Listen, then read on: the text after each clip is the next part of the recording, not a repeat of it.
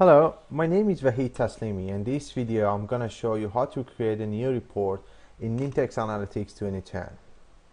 Uh, for demo purpose, I'm going to create a new report called uh, site collection size in which um, I'll be able to see my uh, site collection size across my file. To do so, I'm going to click on new. In the very first step, uh, you have to choose the layout. One thing you have to remember once you create a report you can pretty much change everything every aspect of the report except the layout. So this is pretty important. Once you choose it you cannot change it. We've uh, we've given you three options to choose from. Default layout which has got chart visualization and uh, table visualization chart only layout and table only layout. Um, for this one I'm gonna stick to the default layout give it a name.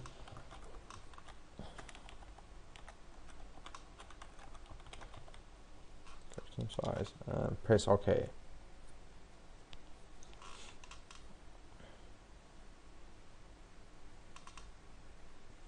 Nintex Analytics has created a report for us but it's an empty report and to show data on it we need to choose data. Okay? Um, in this screen we see a list of data sets available to use. Uh, if you're wondering where these data sets come from you can always go to the SharePoint Central Administration go to Nintex Analytics Management and click on manage datasets here you see a list of datasets which are available to be used in a report. They can be customized here. Okay going back to the report I know which data set I want. I can easily search for it. The data set I'm looking for is called site collection by size. Yes and as you see it gives me a demo visualization both for chart and table and a little nice description about the uh, data set I've used here gonna click apply and it loads the report with the default setting of the data set.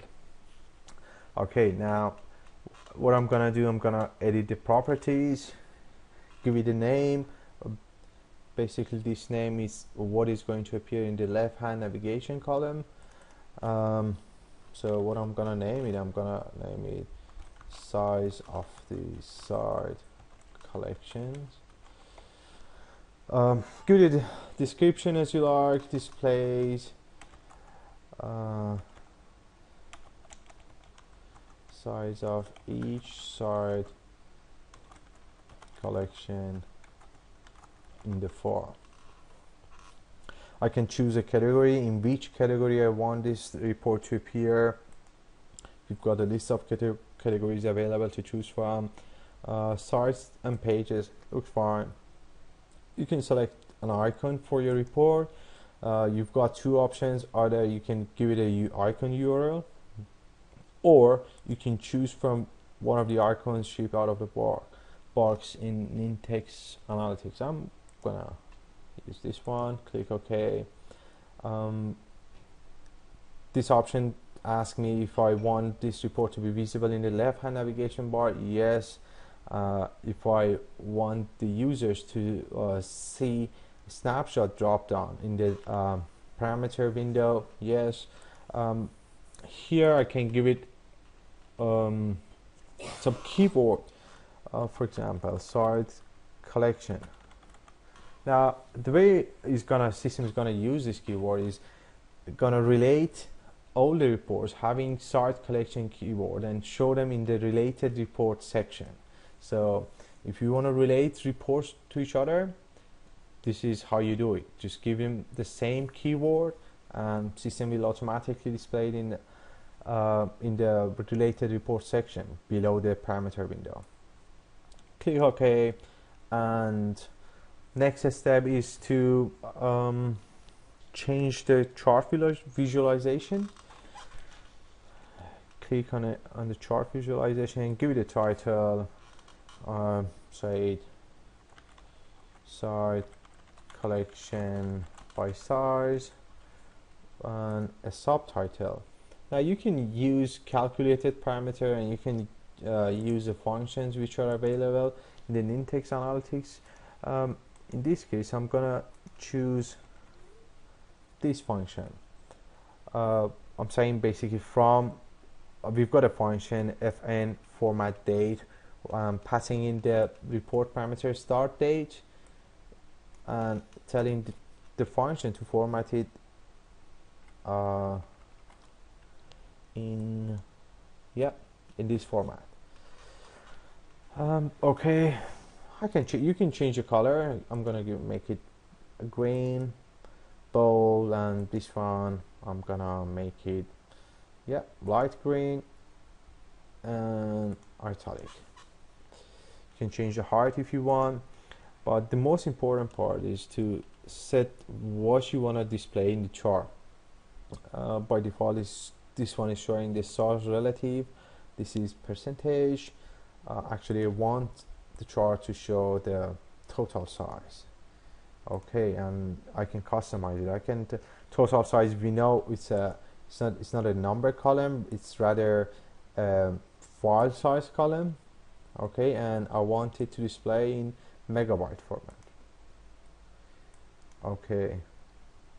And size maybe a rename to this one size MB and yeah sites collections it's okay yeah.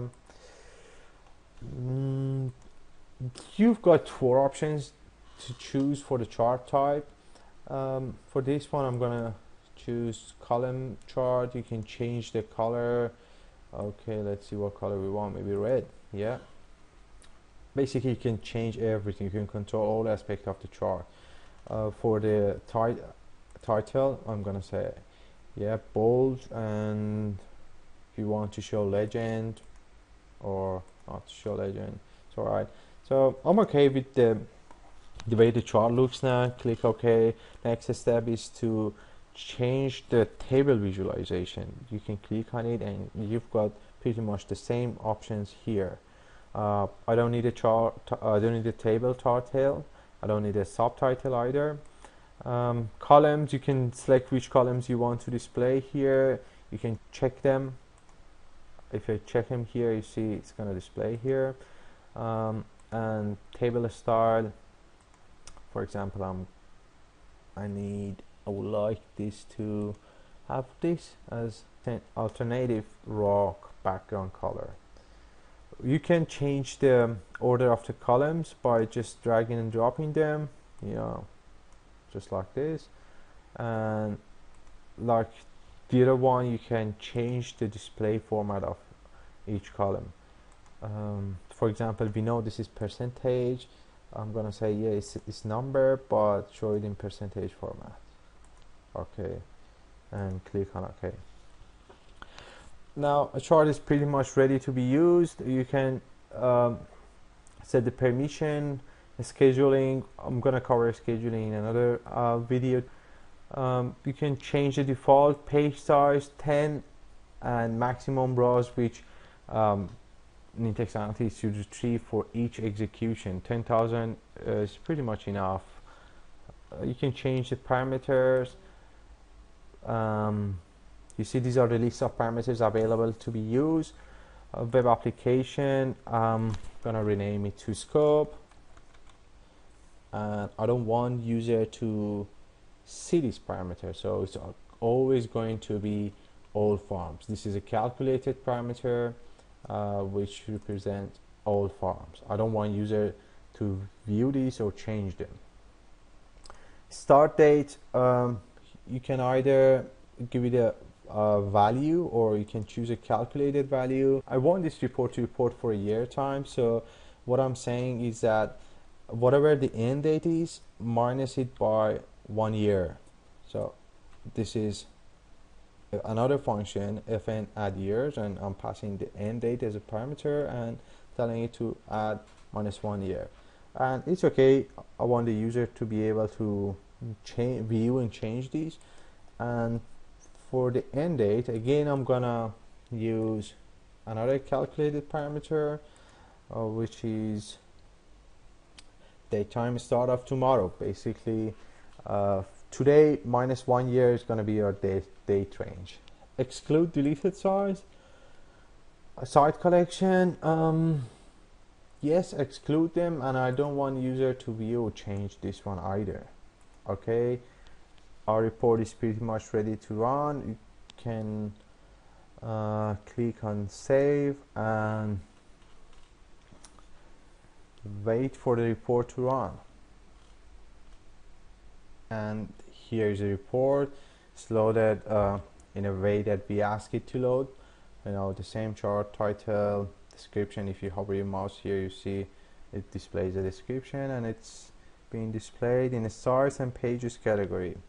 The parameters you know we just um, told the report to display start and date and hide the scope and exclude deleted sites collection parameter and here here are the related reports since we gave it uh, keyword site collection.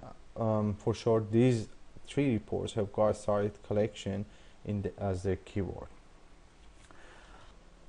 In this video I showed you how to create a new report in Nintex Analytics 2010 thanks for watching